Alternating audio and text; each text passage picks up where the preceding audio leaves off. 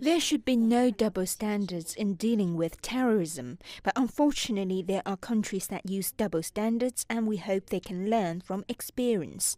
As for the DDP project, there are more than 20 countries in the world have set up similar programs, such as France set up depolarization centers all over the country.